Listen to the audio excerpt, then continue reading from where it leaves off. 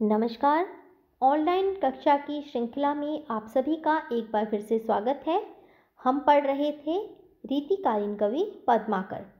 आज की कक्षा में हम पढ़ेंगे बीए पार्ट सेकंड के पेपर फ़र्स्ट के अंतर्गत हमारे पाठ्यक्रम के अंतर्गत आने वाले रीतिकालीन कवि पद्माकर के कुछ पद जो कि हमारे पाठ्यक्रम के अंतर्गत है। इससे पूर्व की कक्षा में हमने पद्माकर के ऋतु वर्णन से संबंधित पदों का अध्ययन किया था।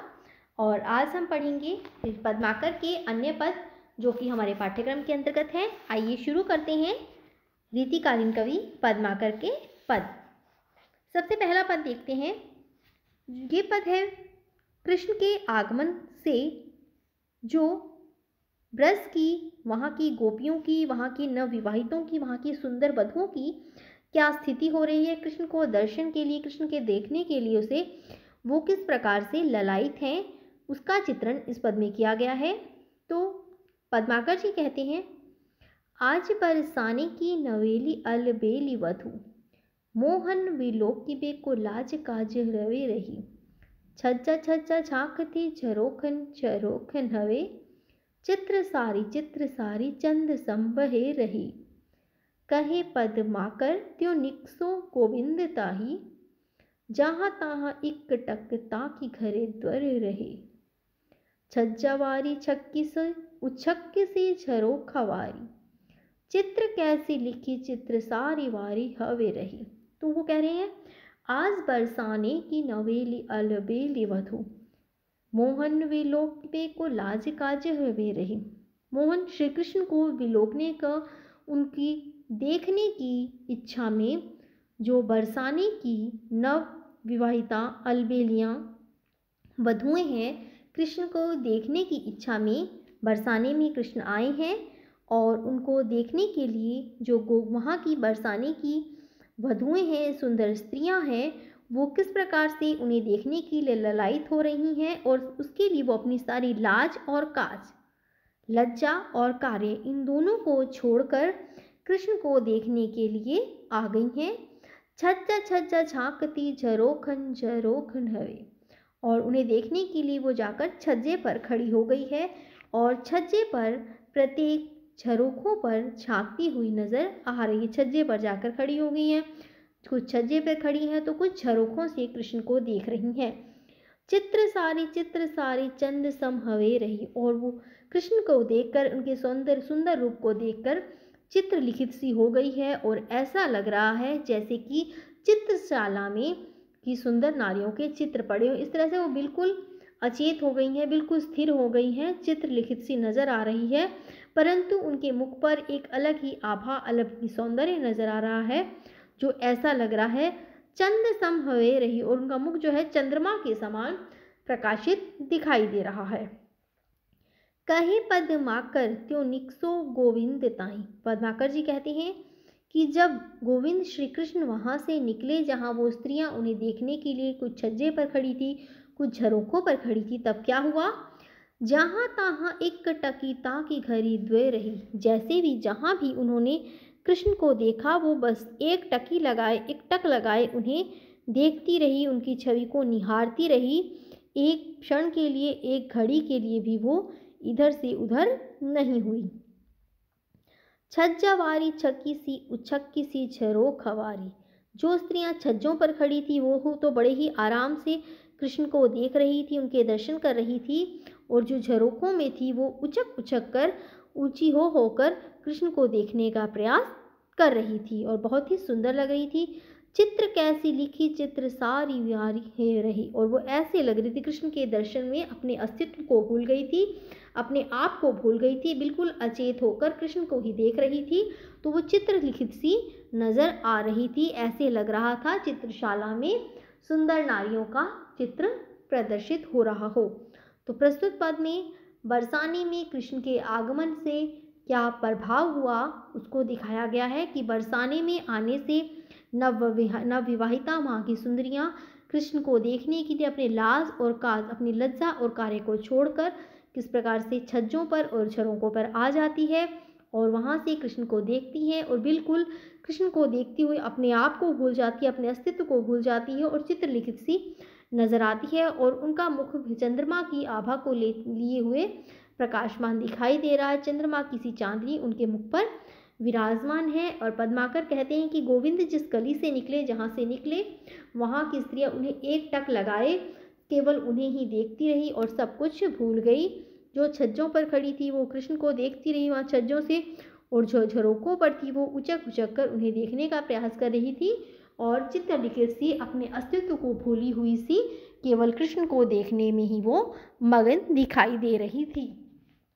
इसके बाद अगला पद है, जो कि पद्माकर जी का हमारे पाठ्यक्रम के अंतर्गत ही है, जिसमें वो कहते हैं, सिर कटी सिर कटी, धर कटी धर कटी सुहय कटी जात है, इमी एक एक ही बार में, कटी भट भय बिन गात है इत सु भट्ट भूप अनूप गिरी के, उखटी आए ता उमर सो उत्तसु भट्ट अर्जुन के विकट, फिर लारी पर अति चाऊ सो। तो यहाँ पर वो अपने आश्रयदाता जिनकी वो आश्रय में रहे थे, वो थे अनूपगिरी। अनूपगिरी उनका उपनाम है, उनका मूल नाम था हिम्मत बहादुर। हिम्मत बहादुर इनके आश्रयदाता थे पद्माकर के। उनकी वीरता का, उनके सैनिकों के युद्ध कौशल का यहाँ पर उन्होंने वर्णन किया है और अपनी आश्रयदाता अनूपगिरी जो कि उपनाम है, उनका मूल नाम है हिम्मत बहादुर। कि वीर सैनिकों के युद्ध कौशल का वर्णन कर रहे हैं इस पद में और कह रहे हैं कि युद्ध करते हुए अनूप गिरी हिम्मत बहादुर की सेना बड़े ही उत्साह के साथ युद्ध कर रही है और इस भयंकर युद्ध में उन वीर योद्धाओं के, वीर सैनिकों के सिर कटे, सिर कट रहे हैं। सिर कटने के बाद सिर कटी, फिर धर कट रही हैं और फिर उनके सिर कटने के बाद धर कट कर अलग हो रहे हैं। धर कटी सुहाए कटी जात है। और फिर धर कटने के बाद पहले सिर कटे, फिर धड़ कटे और धड़ कटने के बाद सुहाए कटी जात है। सुहय का अर्थ है श्रेष्ठ जाति के जो घोड़े हैं। सुहय हय शब्द आता है घोड़ों के लिए। तो श्रे, सु का अर्थ है घोड़े। श्रेष्ठ श्रेष्ठ जाति के जो घोड़े हैं, वो भी कटते जा रहे हैं युद्ध भूमि में। इमी एक एक ही बार में, इस प्रकार से एक ही बार में, एक ही झटके में, एक ही प्रहार में कट्टी भट्ट भय बिन गात है और जो है एक ही प्रहार में, एक ही झटके में योद्धा जो है, उनके शरीर जो है कट कट कर वो शरीर से रहित हो रहे हैं, उनके जो है शरीर रहित हो रहे हैं युद्ध भूमि में, आक्रमण के प्रभाव से।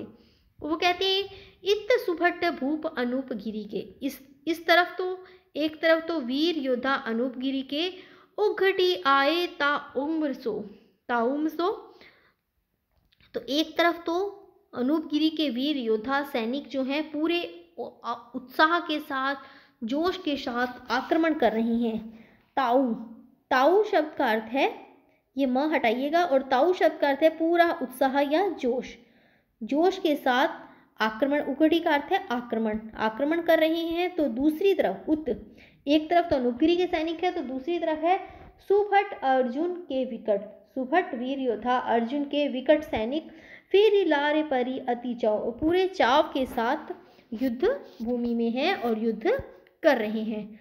तो यहाँ पर अनुपगिरी और सुभट अर्जुन के सैनिकों का युद्ध दिखाया गया है और उन्होंने अपनी पद्माकर जी ने अपने आश्रयदाता अनुपगिरी के सैनिकों की वीरता को दिखाते हुए कहा है कि उनके सिर कट रहे हैं, फिर धड़ कट रहे हैं और धड़ के साथ साथ श्रेष्ठ घोड़े भी नष्ट हो रहे हैं, कट रहे हैं और युद्ध भूमि में जो सैनिक हैं, वो शरीर रहित हो रहे हैं, भय बिन गात बिना शरीर के हो रहे हैं, अर्थात युद्ध भूमि में अपने शरीरों को कटवा रहे हैं, अपने प्राण न्यौछावर कर रहे हैं, वीरता के साथ, उत्साह के साथ युद्ध भूमि में युद्ध कर रहे हैं। इसके बाद अगला पद देखते हैं, जो कि हमारे पाठ्यक्रम के अंतर्गत है। तो इस प्रस्तुत पद में पद्माकर जी ने अपने एक दूसरे आश्रयदाता जो कि हैं, प्रताप सिंह, उनकी वीरता का बखान किया है। उनके बारे में, उनकी प्रशंसा कर रहे हैं अपने आश्रयदाता। प्रताप सिंह की प्रशंसा करते हुए कह रहे हैं।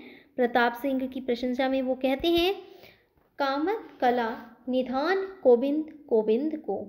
काटत कलेश किल कल्प तरु कैसे है? कहे पद्माकर, भागीरथ से भगवान, भानुकुल भूषण भयो राम जैसे हैं। मानिनी मनोहर, महत मजेवंत, माधव नरेंद्र तने तेजवंत तैसे हैं।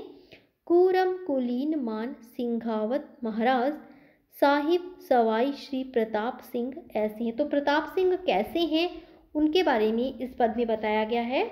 तो प्रस्तुत पद है कवि पद्माकर का। प्रताप शाही वीरदावली में से लिया गया है। तो प्रताप सिंह की वीरता का वर्णन किया गया है।